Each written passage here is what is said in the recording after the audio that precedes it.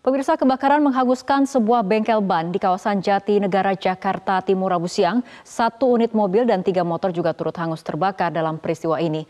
Kebakaran dipicu ulah anak kecil yang bermain korek api.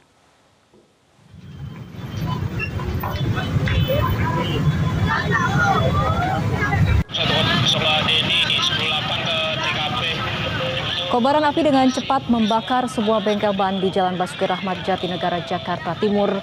Banyaknya bahan mudah terbakar di dalam bengkel membuat api cepat membesar dan merembet ke seluruh bagian bangunan. Satu unit mobil dan tiga sepeda motor hangus terbakar dalam peristiwa ini. Petugas pemadam kebakaran yang tiba di lokasi langsung berupaya memadamkan api agar api tidak merambat ke bangunan lainnya. Sebanyak 18 unit mobil pemadam dan 90 petugas dikerahkan ke lokasi kebakaran.